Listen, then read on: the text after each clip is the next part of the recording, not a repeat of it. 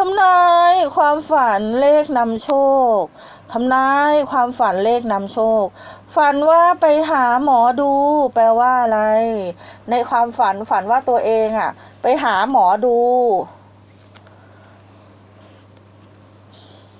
อันนี้โรคซึมเศร้าค่ะ ซึมเศร้าเหงาเพราะรัก อันนี้พระอาทิตย์ร้องไห้ คิดมากเกินไปน่ะ อันนี้ไพ่ราชินี ราชินีแห่งพฤกษาเทวีเกีย อันนี้เจ้าหญิง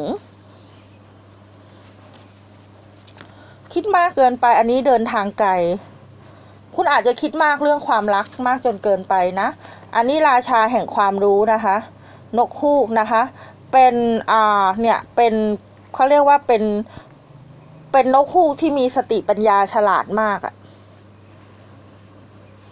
ปัญหาที่คุณเกิดขึ้นนะเวลาเนี้ยตอนเนี้ยมันไม่มีใครช่วยคุณได้หรอกนอกจากคุณน่ะช่วยตัวเองไพ่มันบ่งบอกว่าจริงๆไพ่ใบนี้แปลว่าจะได้รับความช่วยเหลือ คุณจะได้รับนะ ตัวคุณน่ะจะได้รับความช่วยเหลือจากผู้หญิง จะได้รับความ คุณจะได้รับความช่วยเหลือจากผู้หญิงที่มีฐานะ ไพ่ใบนี้คือมีเกณฑ์เดินทางไปเที่ยวต่างประเทศ อาจจะเดินทางมีเกณฑ์เดินทางไปต่างจังหวัด มีเกณฑ์เดินทางไปต่างประเทศ อาจจะไปทำธุระ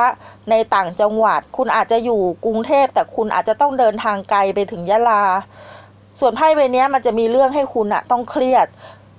แต่คุณจะใช้สติปัญญาแก้ปัญหาได้ อันนี้คุณอะเป็นโรคซึมเศร้านะ ชอบคิดมากเรื่องความรัก คุณอะมีปัญหา ต้องร้องไห้อยู่บ่อยๆ คุณเป็นคนมีเสน่ห์ มีคนมารักมาชอบคุณเยอะ คนที่ตัวเองรักจริง ๆอะไม่สมหวัง คุณเป็นคนมีเสน่ห์ มีคุณมารัก คือมีคนอะมาจีบคุณอะแต่คุณอะไม่สมหวังกับคนที่ตัวเองอยากได้ มีคนมาชอบคุณเยอะ แต่คุณอะไปชอบคนที่ไม่เหมาะสมกับตัวเองเท่าไหร่สาวโสด หนุ่มโสดพ่อไม้แม่ไม้เนี่ยนะ คือช่วงเนี้ยดวงความรักอะไม่ค่อยดี แต่คุณอะจะมีชื่อเสียงในสายงาน หน้าที่การงานของคุณอะจะได้รับการยอมรับว่าดี